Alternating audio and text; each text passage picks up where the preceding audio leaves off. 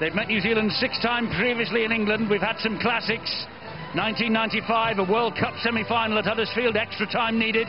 The 2000 World Cup final at Old Trafford. The 2005 Tri-Nations final at Elland Road. These two nations rarely disappoint. New Zealand have lost 10 of the last 12 against Australia in the past four years. The two wins against the Aussies have come in the last four years, produced the goods on each occasion. The 2005 Tri-Nations and, of course, last year's World Cup final.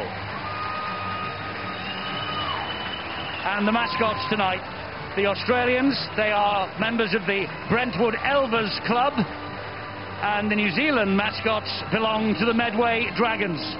Proof positive that the game of rugby league is bearing fruit in this part of the world. Well, prior to uh, the match, of course, an international occasion like this needs the national anthems, and both the Australian anthem and the New Zealand national